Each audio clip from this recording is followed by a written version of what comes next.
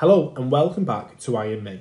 Today's video is a complete guide to fractions covering addition, subtraction, multiplication and even division. Questions similar to this, this, this and even this. We're going to start off with addition and subtraction. We're going to be looking at them together as they follow the same steps and the same rules.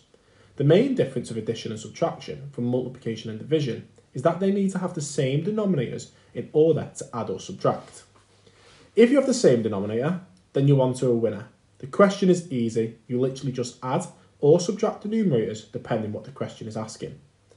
Questions like 2 fifths, add 1 fifth. You literally are just adding the parts. Two parts, add one part, makes three parts. Given an answer of 3 fifths. Some people ask, why don't you add the denominators if you're adding the numerators? And I could explain how the denominator represents what the whole is broken into and continue to give an in-depth explanation. And if that's what you want, great. Check out this video in the description below.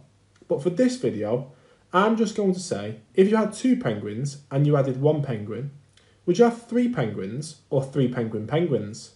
If you think the answer is penguin penguins, then I'm lost for words. If you know the answer is three penguins, then that explains to you why we don't need to add the whole twice. Just have a think about that.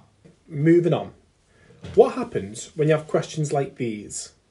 For these questions, you need to change the fractions into equivalent fractions, as the denominators are not the same. If you want a full explanation on how to do this, follow this link in the description below. However, for this video, we're going to use a quick trick to find the common denominator.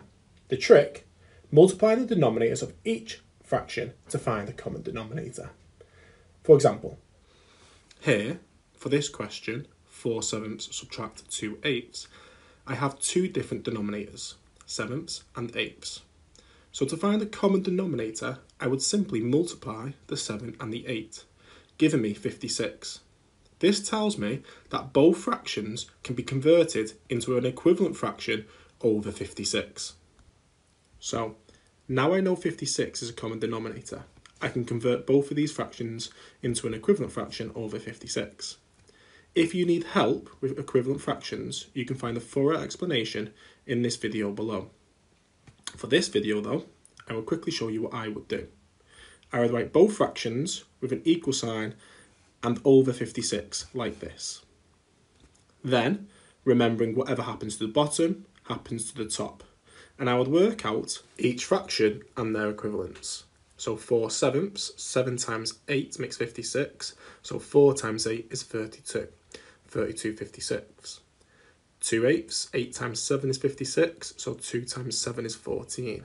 14 56. Now I can answer the question 4 sevenths subtract 2 eighths using my equivalent fractions. 32 56 subtract 14 56 gives me 18 56. So 4 sevenths subtract 2 eighths is 1856. If this was addition, one second, then I would still do exactly the same, but instead of subtracting the 14 from 32, I would add the 14 to 32, which would make 46 56. Simples! Next, I'm going to be looking at multiplying and dividing our fractions by a whole. What you want to do for both of these is multiply or divide the parts that you have. For example, in 2 thirds, you have two parts out of 3.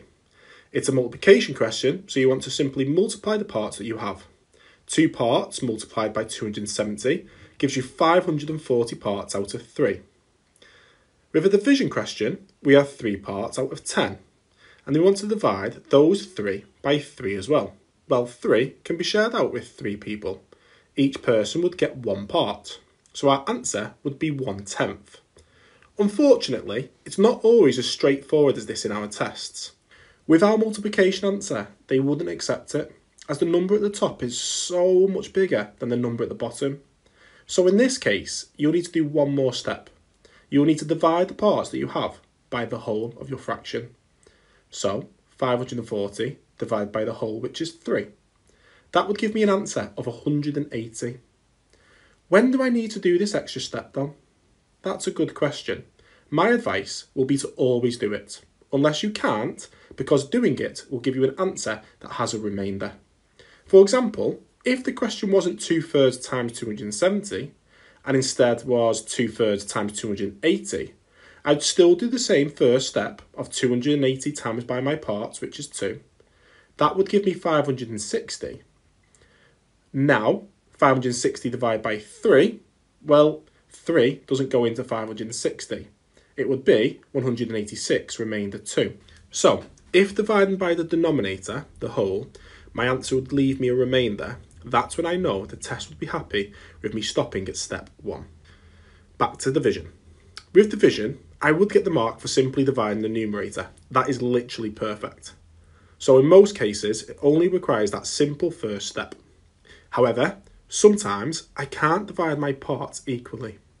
Imagine this question was 4 tenths divided by 3 instead. Here, 4 can't be shared between 3 equally. When this happens, I need to multiply the denominator. So, here I do 10 times 3, giving me 30. I don't touch the numerator at all. This would give me the answer of 4 thirtieths. So, to quickly summarise, when I add or subtract fractions, I need to make sure both fractions have the same denominators. If they don't, I must find a common denominator in which both fractions can be converted into with what we know about equivalent fractions. Then, I simply add or subtract the numerators. With multiplication, I multiply the numerator and, if I can, I divide the denominator. With division, I divide the numerator, but if I can't, I multiply the denominator. With division, I don't do both. With multiplication, you hopefully can do both, but if not, just stick to step one.